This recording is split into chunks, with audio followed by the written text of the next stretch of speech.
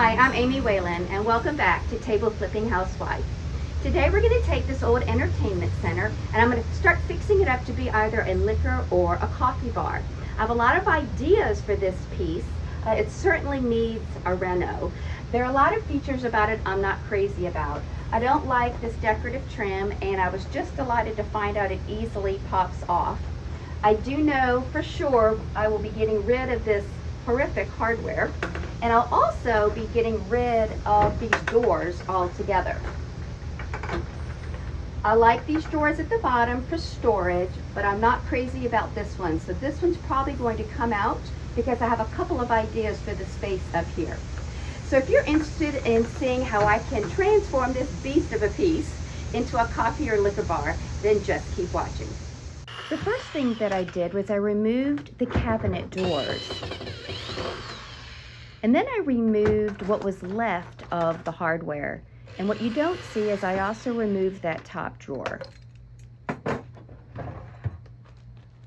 Now I didn't realize earlier that I wasn't in the frame of the camera when I removed these, but all I did was I took my putty knife and slipped it underneath and just did that and they came right off. Now it is left some brad nails that I need to now pull out.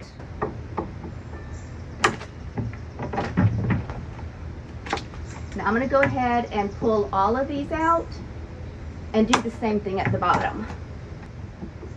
Now these look like they're too flush with the wood. So what I'm going to do for that instead is just hit them all the way so that they're flush. I'm not going to use a drawer up here. So now I need to get this out. I tried with my other screwdriver, too long of a handle, and I was too short. So now I have a shorter handle and some leverage, and we'll take this off. I got this one started. This isn't going to be pretty. Here we go. Okay. Phew. Got that off. Then it was time to give the piece a very good wash. I needed a good degreaser, so I used warm water and Dawn liquid detergent and scrubbed every single surface of this piece. When I was done, I then rinsed it with water, clean water.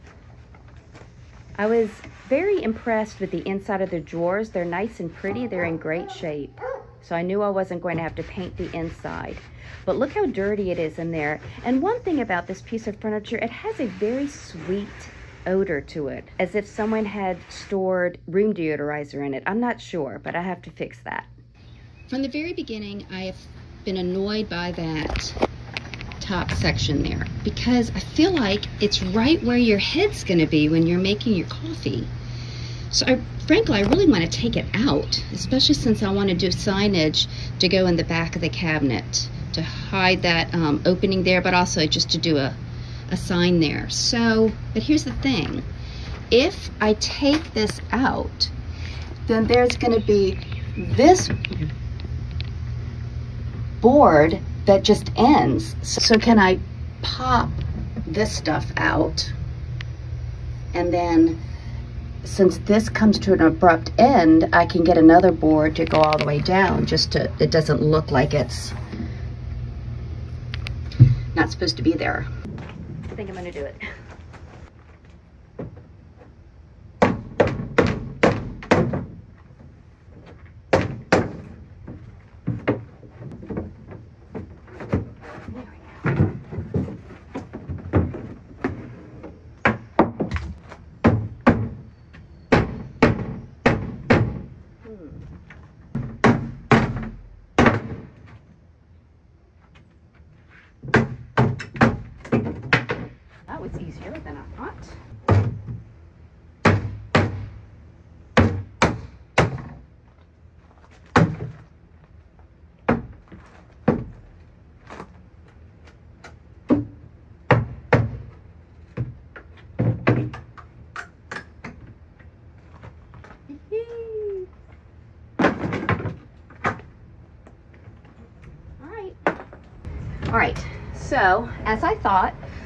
this comes down. I'll take all those out, of course. What I'll do, just so that it looks more finished, is get some more of these. Is that a one by two?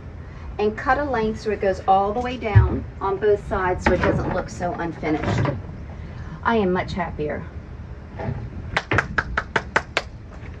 I used some Durham water putty for the first time to fill in the holes left behind from the hinges of the cabinet doors, from the holes from those brad nails that held the decorative trim, and any other place that there was a ding. I applied it with my putty knife and let it dry.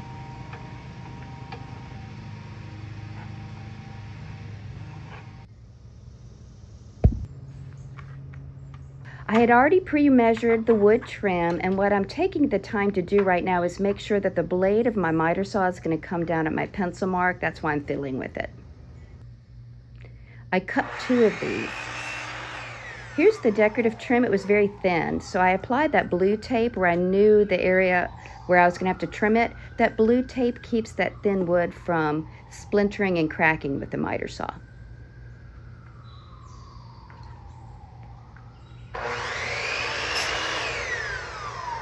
Now, even though I measured more than once, one of those wood pieces is too short. So I'm showing you here, I cut a piece of a large tongue depressor and I'm using that as a shim. So I glued it in place right under that piece that was slightly too short. I don't know how that happened. And then I go and add that wood piece, that one by two, on top of that shim. And then it was a nice snug fit.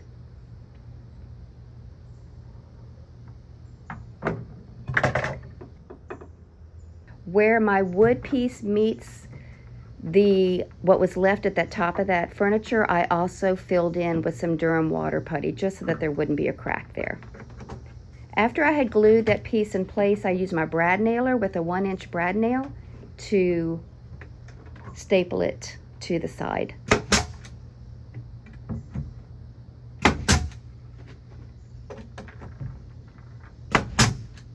I then did the same thing to the other side and didn't need to use a shim for that one.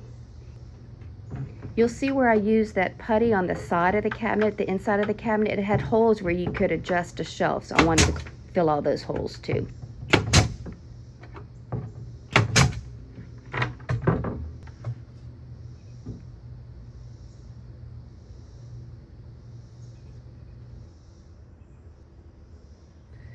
As I'm gluing this in place, I realize I don't have my level, or is it a leveler?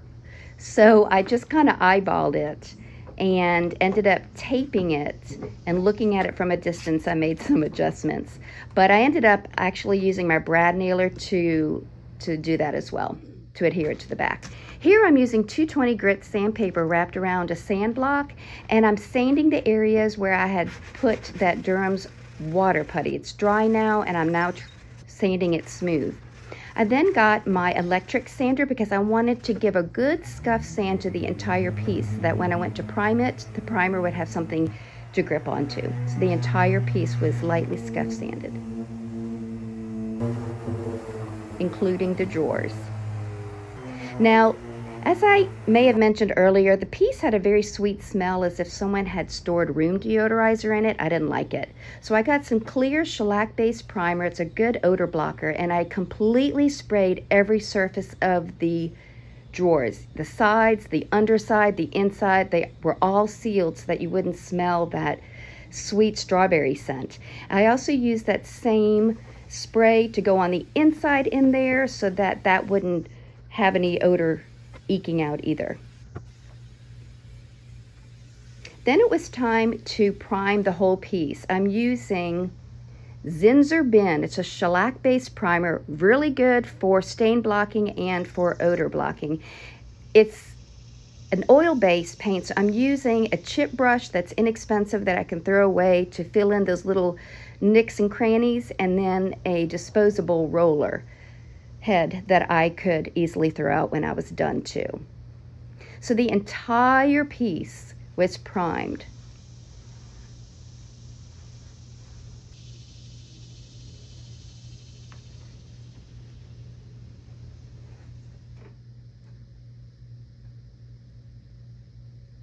So it's finally paint day and I feel as if I'm gambling because in the Atlanta area we've had really weird weather the sun will be out and we'll have a rain shower. So I don't know, I just have to bite the bullet and go. But before I paint this, I do need to lightly sand down any imperfections in the primer, any little buggies or anything that may have landed in the primer before it dried. I'll lightly sand that down, wipe it off with a damp rag, and then I'll be ready to paint.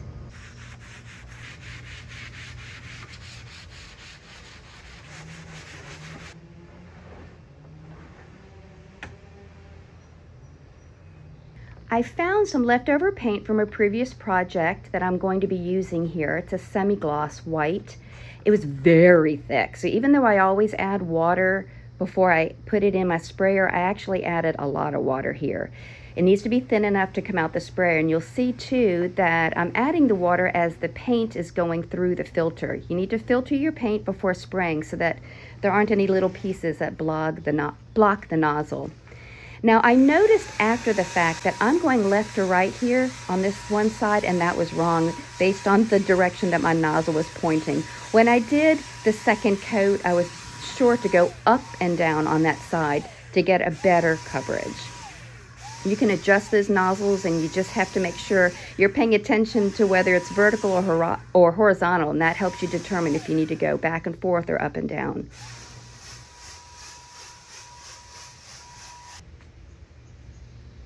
Right here, I'm doing the inside of the cabinet, and I knew I would definitely need my respirator for that, so that's why I stepped out to put that on.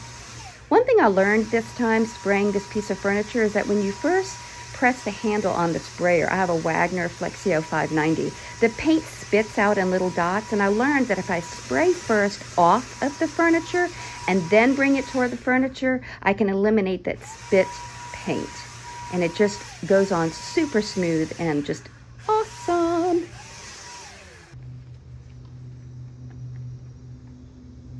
You'll notice I do that here. When I'm spraying the top, you'll notice I'm spraying in the air first, and then I come down on the furniture. Again, that eliminates getting those little spatters of paint when you first depress the nozzle. I then sprayed the back. As you know me, I like every surface to be clean and pristine. I'm using a here that's meant for drawers so that when you spray, you don't get an overspray inside the drawer. This was the first time I was using it and I wasn't a fan. It was very thin and it kept tearing as I was covering all of the uh, drawers. Look at the upper right. There's a big hole there and I would have to put tape over all the holes. I'm not a big fan, but nonetheless, I wanted to give it a try. So I spray painted all of the drawers too, and I gave the drawers and the cabinet two full good coats. That day, I also took some drawer handles that I had purchased from a garage sale. You'll see on this pop picture that pops up, it's gold.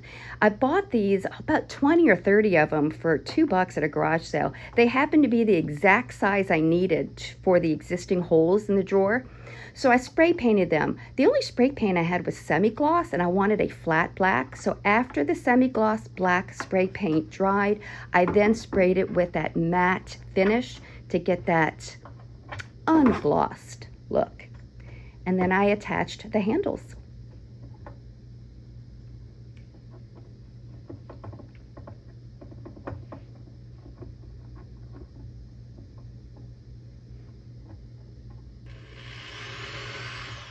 Then I wanted to add some cup hooks. That's the last thing I did. I pre-drilled a teeny tiny hole and then I screwed the cup hooks in using a drill bit to get the last few turns.